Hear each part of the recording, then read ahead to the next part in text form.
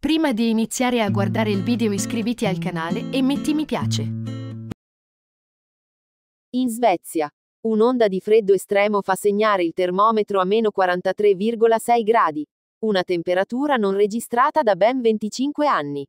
Il sud del paese è particolarmente colpito, con centinaia di auto bloccate sulla strada e 22 tra Orbi e Kristianstad a causa della neve. Le forze armate svedesi sono intervenute per assistere gli automobilisti intrappolati, consegnando cibo e acqua. La polizia ha invitato i conducenti a rimanere nei veicoli, non abbandonarli a piedi.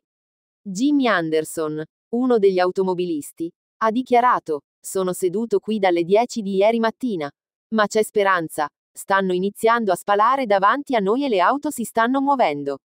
La situazione è complicata anche in Finlandia e Norvegia, con temperature record e conseguenti problemi di trasporto.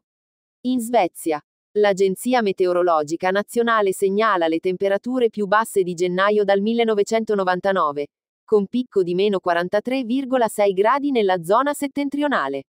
Le compagnie di trasporto locale sono costrette a sospendere le corse, e la compagnia ferroviaria locale annulla tutti i collegamenti a nord di Umea. In Finlandia, le temperature scendono a meno 38,7 gradi, causando problemi nelle condutture idriche a Tampere e interruzioni nei trasporti. In Norvegia, Oslo si prepara a un fine settimana gelido con previsioni di meno 27 gradi, mentre forti nevicate nel sud causano caos con scuole chiuse e voli cancellati. Stoccolma sarà coinvolta dall'onda di freddo a partire da sabato. Grazie per aver guardato il video iscriviti al canale e attiva la campanella per ricevere notifiche sui nuovi video.